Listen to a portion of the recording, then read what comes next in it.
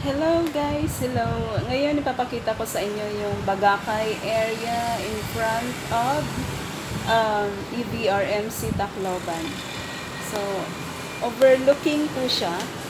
Overlooking. Tapos makikita din natin yung San, Juan, San Juanico Bridge. So, let's go. Actually, nga pala, naandito kami sa 6th floor ng E EVRMC. So, andito na yung pasyente namin. Sana maoperahan na siya agad. Ayun. Pero since overlooking siya, uh, from here at 6th floor, uh, tingnan natin.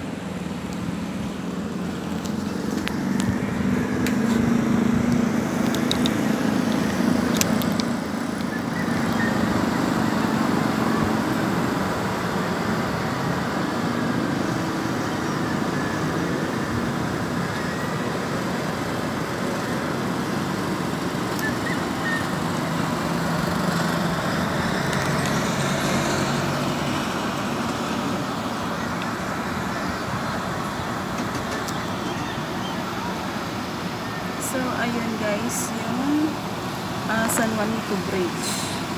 That one. Ayan siya.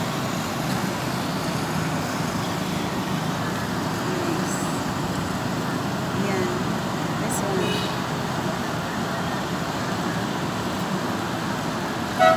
Ayan. San Juanico Bridge yan. So, yan po yung nagdudugtong ng Samar and Leyte. So, itong area kasi na to. Itong area na to, dito, um, Leyte. So, yung part na sa uh, pagtawid doon, doon, yun yung Samar area na siya. Tingnan nyo guys. So, bibidyohan natin siya pag gabi. Umiilaw kasi yan.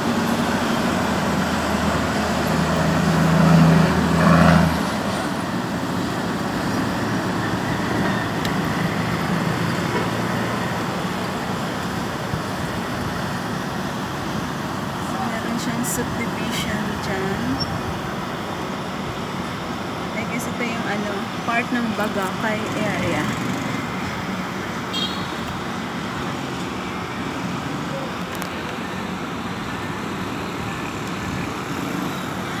Ito ang ganda ng bundok nila.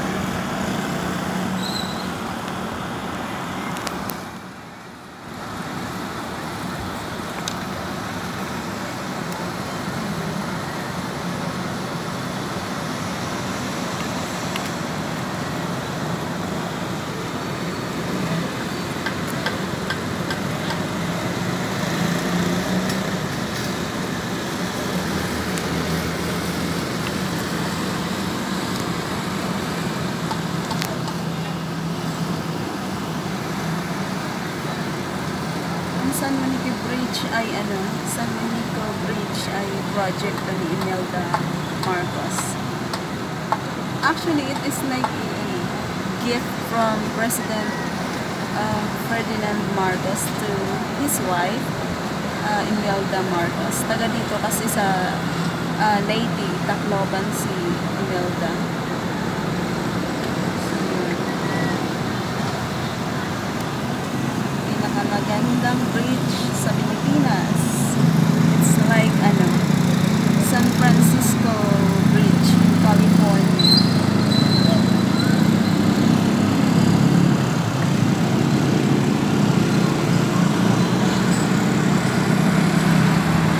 So guys, sa time ng Yolanda, Typhoon Haiyan, malaking alon ang sumalpok dito sa area na to. Doon kasi sa area na yon ay dagat.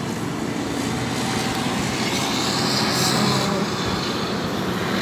nabal nabaliktad kasi yung kanilang ah, asphalt, asphalto ng ano, airport. So, yung airport kasi nila is ano, katabi lang ng dagat. So, nilapnos talaga siya. ng ano tubig, tubig dagat. Kaya maraming ano casualties.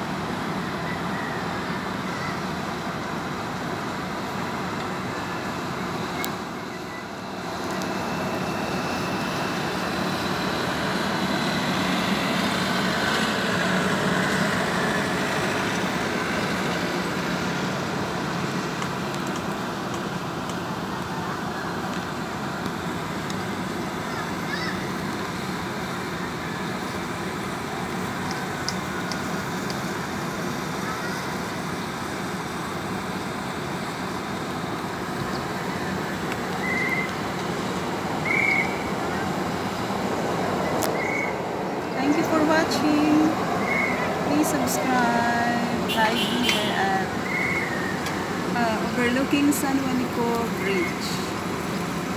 Samar and Leyte. Connecting Samar and Leyte. Goodbye.